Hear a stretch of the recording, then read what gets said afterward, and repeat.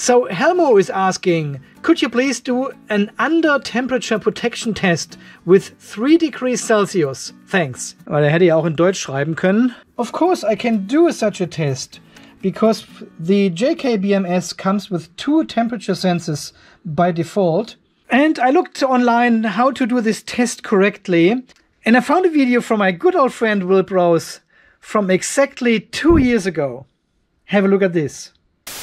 I'm starting to like this. I want to make like a permanent setup with this. This is really cool. So the next step is testing if the low temperature disconnect for charging works. Right now it's charging, so we're gonna take one of these temperature sensors and stick it in a bowl with frozen uh, green beans. A bowl of frozen green beans in water? Are you serious? And we're gonna see if it will actually turn it all off.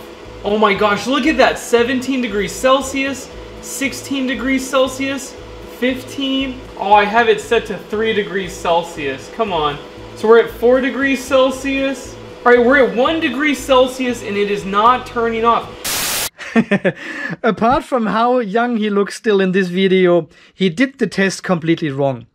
Yes, Will Prowse completely wrong. This is not how you do a proper low temperature disconnect test. Green beans in water has never worked for these tests. Well, my friend, let me tell you, this is exactly why your test failed. So, we'll pay attention. Andy from the Offgrid Garage in sunny hot Australia will now show you how this test is being done correctly. And this is the only standard and off-grid garage approved method to do a low temperature disconnect test with a BMS. So first of all, we want to go into our BMS, go into the settings and have a look for the under voltage, under temperature protection. Here, charge, charge. There it is, there it is. Charge under temperature protection, zero degrees. Helmo wants this on three degrees. And right underneath is the charge under temperature protection recovery temperature. yeah, okay, we can leave this at 10 degrees. So in theory, the charging process should turn off at 3 degrees and turn back on if we reach 10 degrees again. Okay, I have now turned on our charger, our power supply, and we are charging with 3 amps. Doesn't really matter. Frozen green beans. Come on!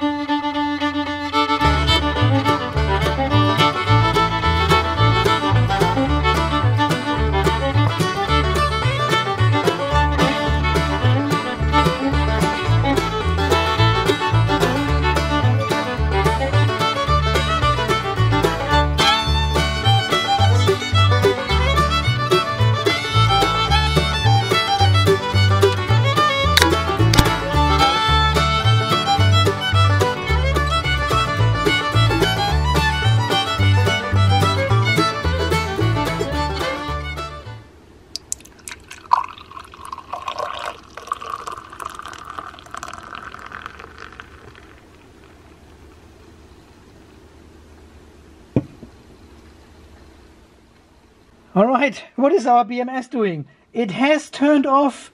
We've got exactly 3 degrees beer temperature, now we've got 4. And yes, the current has turned off. 0.0 amps. If I stir the sensor a little bit, temperature is getting down to 2 degrees again. We are still under temperature protected. And now we have to warm up the sensor and, and see if the charging commences when we hit 10 degrees or higher.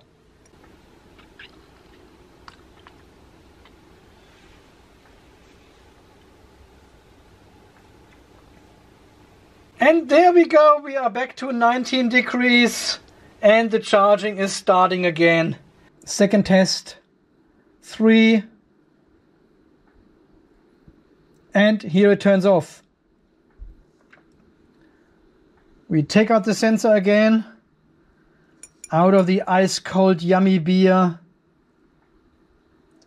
Temperature is rising slowly. 10 degrees. 11. There we go, charging starts again. The JKBMS has two temperature sensors. One is still stuck in the battery, this black cable there and the other one is here in the ice cold beer And with the JKBMS, it is enough if one of the sensor measures the low temperature Unlike the Ant BMS Will Prowse tested two years ago, which needs to have both sensors under the uh, under temperature protection to turn off the charging current. I just want to test. Is das kalt? Oh, mmm. It's nothing better than ice cold beer. Alright, Helmo, I hope this answers your question, and I hope everyone has learned now how to do the proper under temperature disconnection test for BMSs.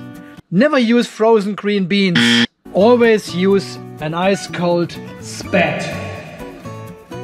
Sorry, Will, I hope you don't mind, but frozen green beans. The next time you should use at least organic beans.